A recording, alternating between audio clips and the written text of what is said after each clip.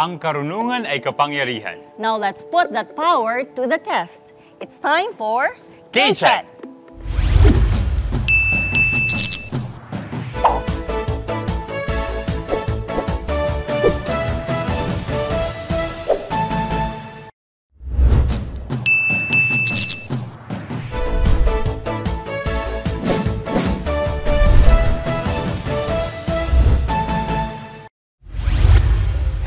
Everyone, I am Junel Labor. Ako po si Amy Sue Martinez and this is K-Check, the newest and smartest game show on Philippine television. Marami ang hindi nagsasawang dagdagan ang kanilang kaalaman. Here on K-Chat, titignan natin kung gaano katindi ang brain power nila in various disciplines. And in the final week of the competition, malalaman natin kung sino ang kauna-unahang tatanghaling K-Check champion. Apat na contestants ang dadaan sa ating karunungan check sa araw na ito. Dane is taking BA Philippine Studies at UP Diliman. One of his dreams is to join a quiz show, but he always has been too shy to try until now. Noy is currently taking Bachelor of Physical Education at UP Diliman and loves playing volleyball. Marie is really into the group BTS and uses their music to inspire and motivate her to do classwork. She is a busy fourth year college student but is always game for a coffee date. Kenia is a University of the Philippines Diliman student who is passionate about design related tasks. These four will be competing under the watchful eyes of today's K-Check panel of experts. Professor Marian Roque, Professor of Mathematics at the UP Diliman. Professor Neil Santillan, Chairperson of the UP Diliman Department of History. And Professor Maylin Cruz, Assistant Professor from the Department of Theory, College of Fine Arts, UP Diliman. And now, contestants, papasok na tayo sa K-Check Paramihan where each correct answer is worth 10 points. This is your chance to bank as many points as you can and take the all-important early lead. Let's begin!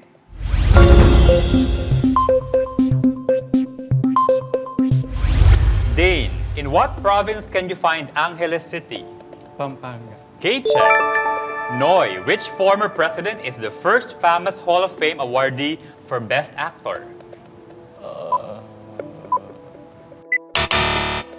Joseph Estrada. Marie, what number is one-fourth of 48? Four, 12. twelve, Kinea, in what U.S. state can you find Hollywood? Los Angeles. California. Dane, what number is one-third of 63? Nine. 21. Noy, Bacolod City is the capital of which province? Uh, Negros Oriental. Negros Occidental.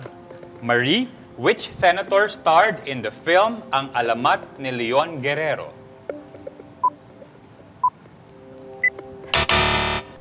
Lito Lapid. Kinea, 32 is twice what number? Sixteen. K-check. Dane, what hard object is the nickname of Senator Ronald De La Rosa? Bato. K-check. Noy, what is 22 divided by 1 half? Uh, 11. Ay, 44. Marie, in what country can you find the Great Pyramid of Giza? Egypt. K-check. Kinea, which senator starred in the film Anak ni Baby Ama? Robin Padilla. And that's it for the first round of our K-check Paramihan round. And that's it for our first round, the K-check Paramihan round. Ngayon, may tanong daw ang ating si Prof. Neil sa isa sa mga contestants, no? ang tanong ko ay para kay Marie. Okay, Marie, ikaw daw ay miyembro ng BTS Army. Okay, so hanggang ngayon ay nagtatanong ako sa sarili ko ba't gustong gusto ng kabataan ang BTS. So ano kaya ano kaya ang sagot mo sa tanong na ito? Ano ang saysay ng BTS sa kabataan o sa kasulukuyang kabataan? Thank you for that wonderful question, Professor Neil. I believe po, BTS is more than just a group of seven members from South Korea. Uh, I believe that their music transcends language and it's important for Asian representative, especially in the music industry today. And I also believe in their philosophy to love oneself. And in order to excel in life, you have to love yourself first. So I thank you, Prof. Lee.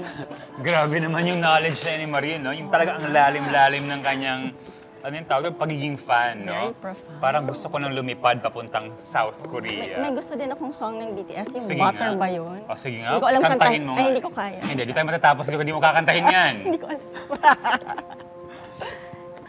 At ngayon, ready na ba kayong lahat for our pabilisan round? Next here on K-Check!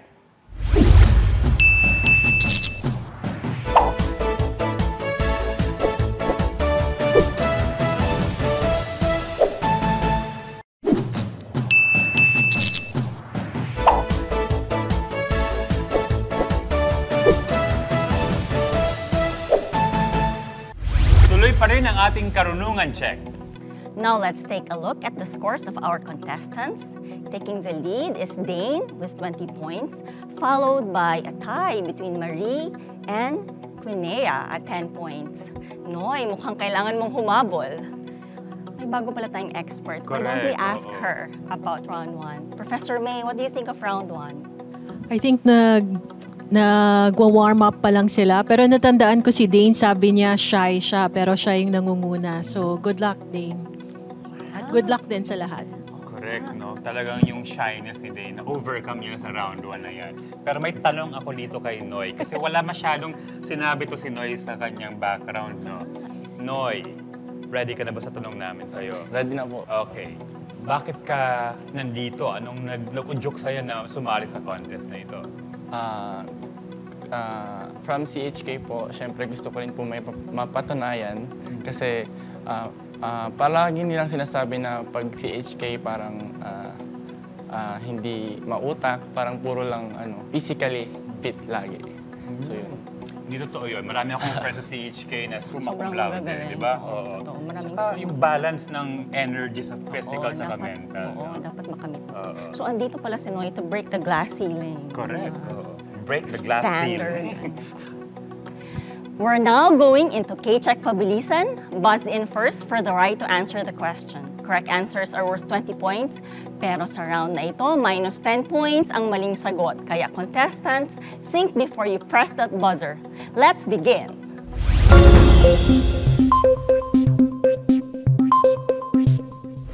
Question number one.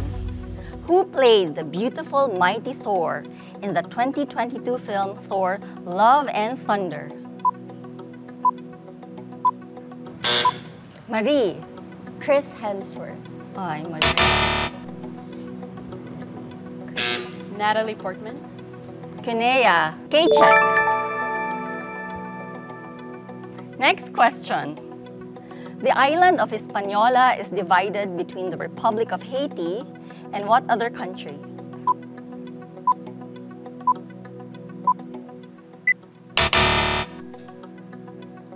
The correct answer is Dominican Republic. Which team defeated TNT in a thrilling seven game final to win the 2022 PBA Philippine Cup?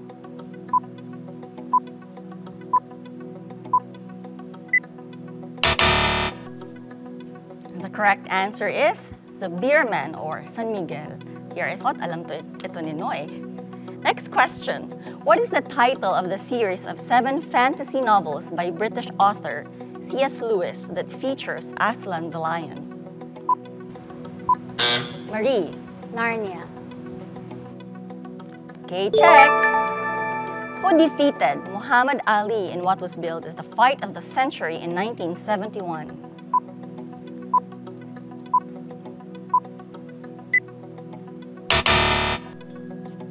Correct answer is Joe Frazier.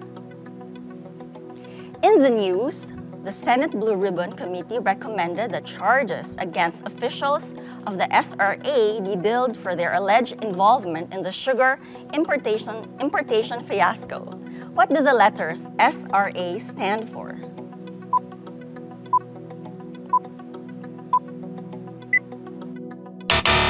This was just in the news, and the answer is Sugar Regulatory Administration. Next question. What is the common name for the plant Lawsonia inermis, which is a source of dye for both silk and leather, as well as temporary tattoos on human skin?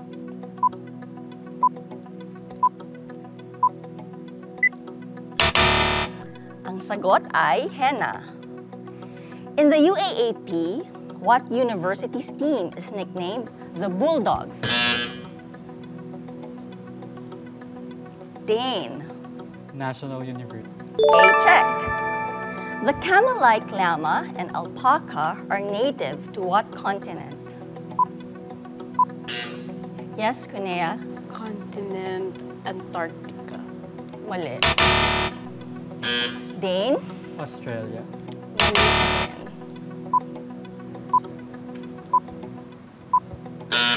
Yes, Noy. Asia. Yes. Marie. South America. Okay, check. Next question. In the news, what department was implicated with the alleged anomalous purchase of 2.4 billion pesos worth of laptops in 2021?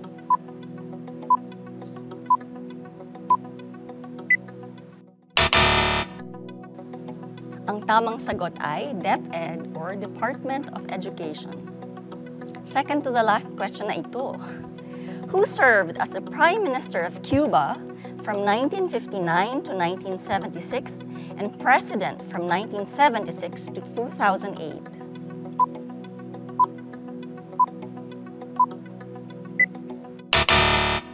The correct answer is Fidel Castro.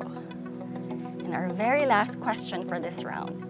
Which Filipino singer recorded the 2010 single Pyramid? Noy? Ah, Charis Pempenko. Okay, check. And that's it for our Pabilisan round. And that's the end of our K-Check Pabilisan round. Punta muna tayo sa ating recap. No? Nangunguna si Marie with 40 points. Susunod si Dane with 30 points.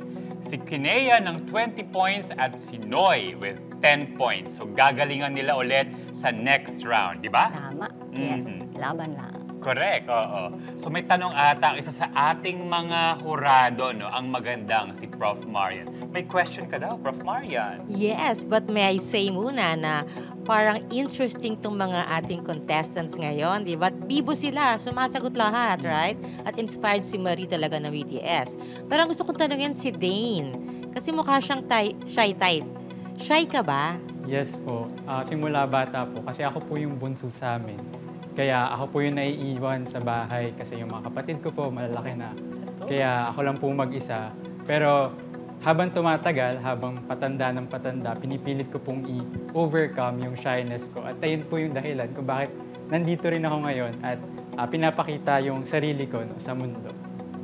Oo, huwag kang mag-alala ka, kasi bunso din ako eh. So, naging ganito ako, di ba? So, magiging ganito ka rin pagtanda mo. Na hindi na, hindi hindi shy.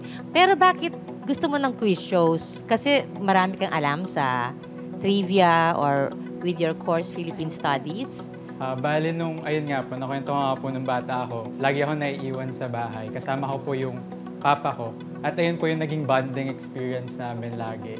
Tapos yung papa ko po ngayon kasi ah, nagtatrabaho na for the longest time sa abroad.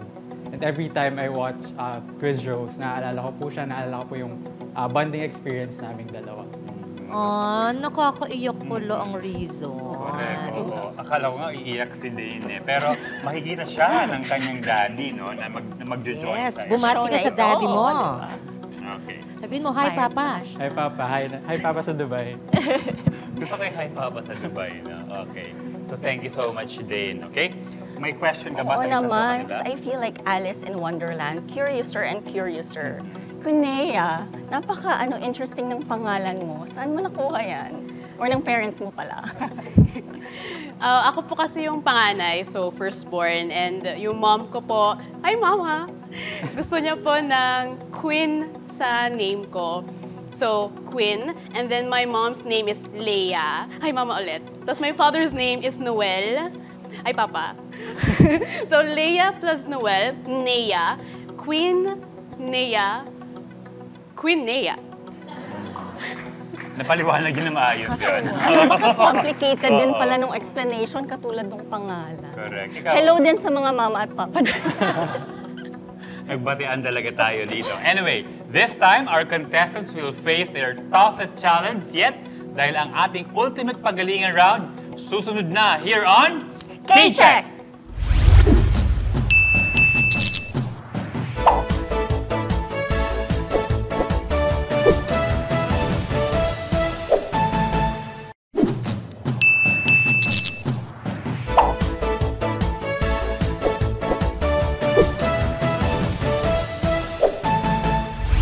Welcome back. Let us now take a look at the performance of our contestants. In the lead is Marie at 40 points. She's followed by Dane at 30 points. Nasa third naman po si Kunea. At nasa dulo po with 10 points ay si Noy. Gusto ko talaga yung magkakasunod lang yung kalang ano, no? Scores, 10, 20, 30, and 40. No? Talagang sumasagot sila Correct. sa first oo. two rounds. Competitive yung mga tao. Luman-laman. yun. Marami silang baon, di ba? So ngayon, pupunta tayo sa ating K-Check Ultimate Pagalingan where correct answers are worth 30 points, wrong answers get a 15-point deduction.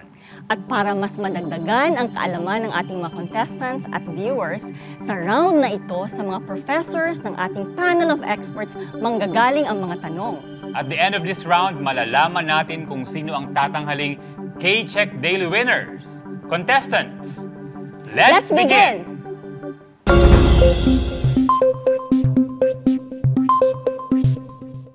Let's begin this round. Prof. Marian, your first question, please. Biology. What process do bats use to locate their prey?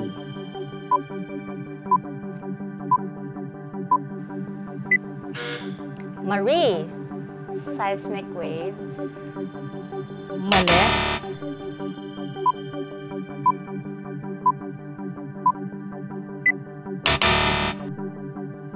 Okay, medyo matama may waves pero bats locate objects even in the dark using sound. So they produce sound, high frequency, and then papakinggan nila yung echo.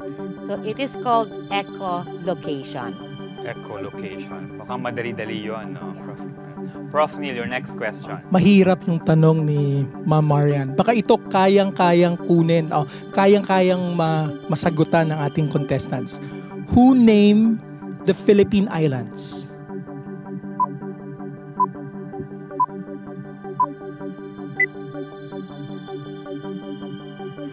Marie, King Philip of Spain. King Philip of Spain. Okay, um, bahagi ng kwento, pero ang tinatanong natin kung sino ang nagbigay ng pangalan na Las Islas Filipinas sa ilang mga isla sa bansa. Sa kalaunan, yung Las Islas Filipinas ginamit na nung dumating si Miguel Lopez de Legazpi bilang unang gobernador general bilang pantukoy sa lahat ng mga isla ng bahagi na alam natin na bansa na Pilipinas. Ang tamang sagot ay Roy Lopez de Villalobos. So pahabo lang, kanino ipinangalan ito? Pinangalan ito sa dating prinsipe ng Asturias na si Philip. Then sa kalaunan magiging Haring Felipe II ng Espanya. Okay, ang salimuot, no, ng proseso ng paghahanap ng pangalan na yan. Prof. Maylin, may tanong? Okay. One of the iconic works of this artist is the Madonna of the Slums, featuring a Filipina mother and her child against an urban slum area. Who is this artist?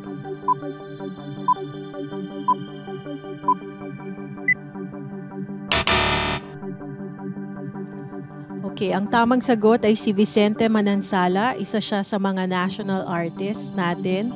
Nakita ko tuma- tumutungo yung mga mga contestant natin, no? So, mukhang alam alam pero nag-atubili, no? Correct, So, nasa dulo ng kanilang mga dila, siguro.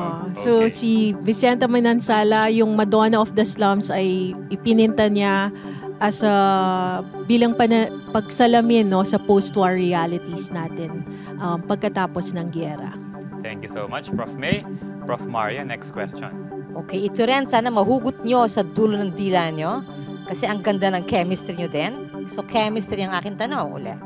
What is the process by which solid matter transitions to gas without going through the liquid state?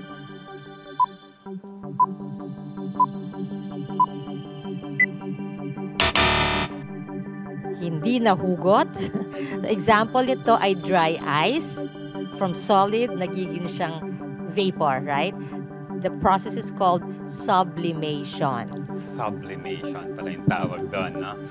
Prof. Neil, Nagbibilang ako kung makakatama ako sa mga tanong ni Ma'am Marian. Mahirap po. Kasi matagal na akong kumuha ng integrated science, biology, physics way back uh, two decades ago or three decades ago.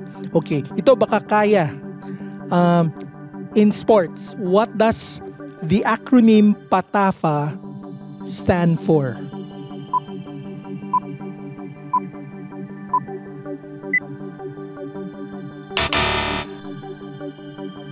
Okay. Posible isa to sa pinaka-controversial na national sports organization natin. Okay, dahil sa issue kay EJ Obiena. Of course, isang premyadong uh, pole vaulter ng Pilipinas.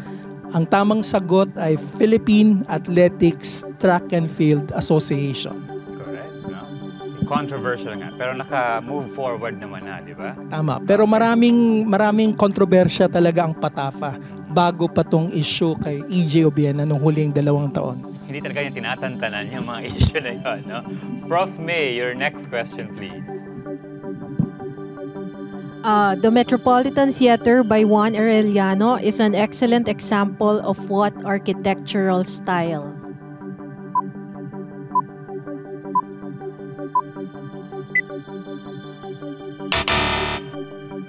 The correct answer is Art Deco.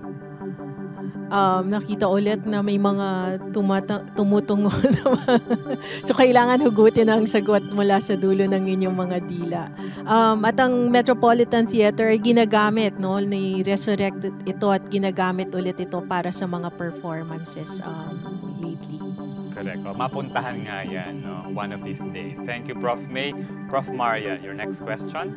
Ito siguro kaya niya ito. Okay. Kakabilang ko lang kanina eh. How many teeth does an adult human have? Kinea.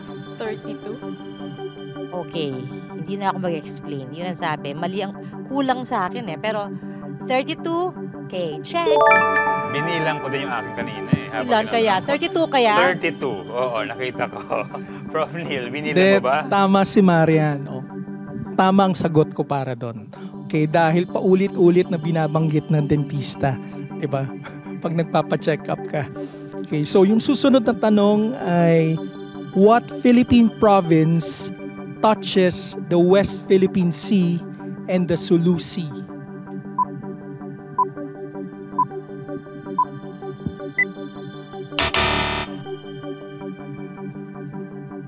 tingin ko nag-aalangan lang yung mga contestants. Okay, so sikat to dahil major tourist destination to ng Pilipinas. Isa to sa pinakamalaking probinsya rin sa Pilipinas in terms of land area. Diba? Then, dito rin matatagpuan yung mga Tabon Caves. Okay, nasa munisipyo ng Quezon. Okay, nasa uh, timog na bahagi ng probinsya. Ang tamang sagot ay Palawan. No? Ang gandang probinsya no, ng Palawan. Prof. Maylin? What national cultural treasure was found in Batangas inscribed with prehistoric script?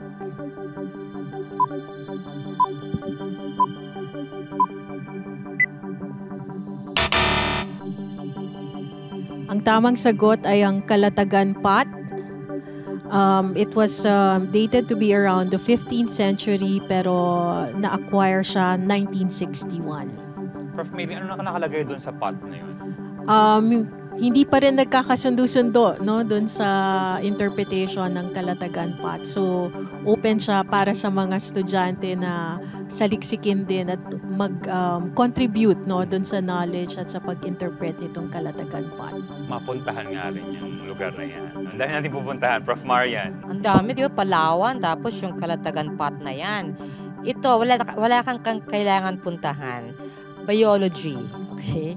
The PINA is part of what sensory organ? Ice.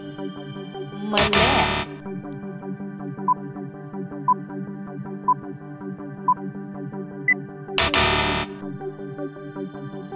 Konti lang naman ang ating sensory organs, but the PINA is the medical term for the outer ear. Tenga. Okay. Okay. Nice to know. Prof. Neil. Okay. Um, huling tanong para sa akin sa larangan ng kasaysayan. Um, ito ay ML at 50 na question. Okay? What is the biggest business-led non-government organization in the Philippines that was established in 1970?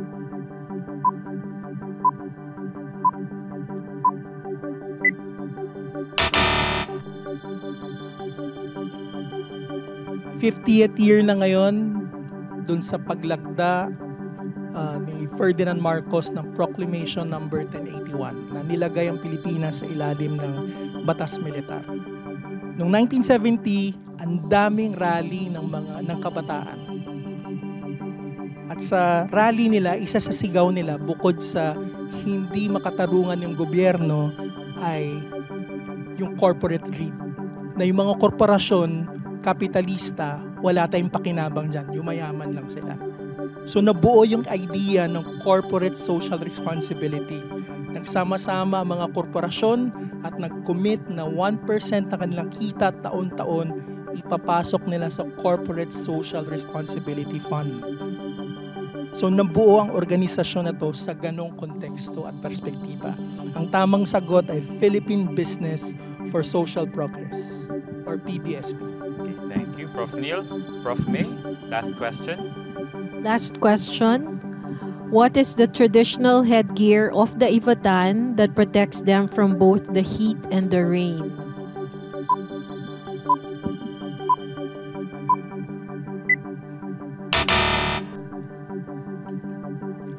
The correct answer is bakul. I'm sure na i-imagine nyo siya, no?